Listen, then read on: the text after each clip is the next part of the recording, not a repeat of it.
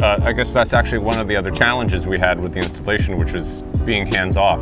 So that's a non-typical process for us. Being DIY RVers, we tend to want to do all the projects ourselves.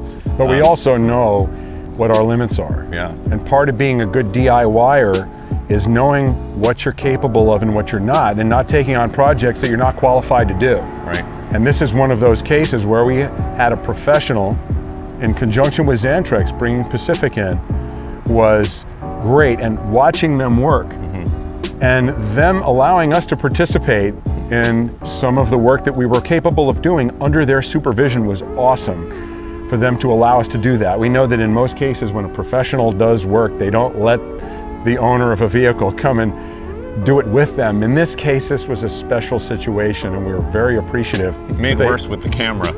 yeah, they, they allowed us to stick a camera in their face all day and do some of the, a little bit of the wrench turning as well. Right, but there were a lot of nuances that uh, Xantrex's engineers worked side by side with Pacific in order to make sure that every step of the way, the right decisions were being made in order to ensure that the power is being delivered smoothly, both into the battery and out of the battery. So there were a lot of steps along the way in, in integrating this with a system that was not originally designed for a lithium battery system making sure that every decision was made the right way. So that was all kinds of things that even though we could have potentially over time figured a lot of things out, we don't have the expertise to know where some of the gotcha points were. And so it was really important to make sure that, you know, Xantrex's knowledge came to bear in order to, to, to make sure the system is going to work optimally.